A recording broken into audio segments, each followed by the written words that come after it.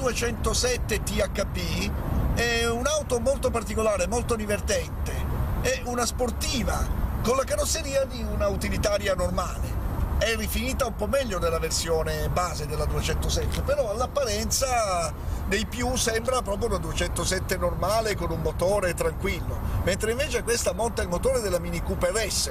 con qualche cavallo in meno, sono 156 cavalli per questo 1600 turbo, un motore che dà l'anima veramente. In attesa di che appaia la nuova GT con motore da 180-200 cavalli, vedremo in che versione uscirà,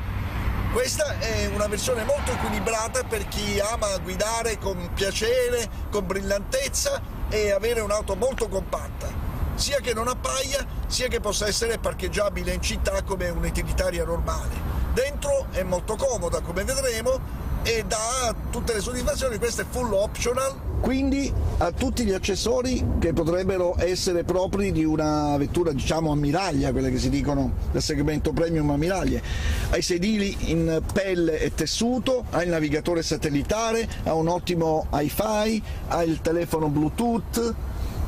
poi per quanto riguarda la caratterizzazione sportiva, il cambio a sei rapporti, vedete con pomello in alluminio e la pedaliera sportiva in alluminio. Strumentazione bianca, quindi una piccola caratterizzazione, ma nessuno direbbe che sotto il cofano ci sono 156 cavalli e che quest'auto è capace di sfiorare i 220 all'ora e accelerare da 0 a 100 in un tempo intorno agli 8 secondi per un guidatore normale. Il pilota esperto riesce a fare anche di più, non certo d'inverno con il fondo viscido quando c'è neve e sale sulle strade, ma nella stagione estiva con delle buone gomme, queste delle gomme sportive,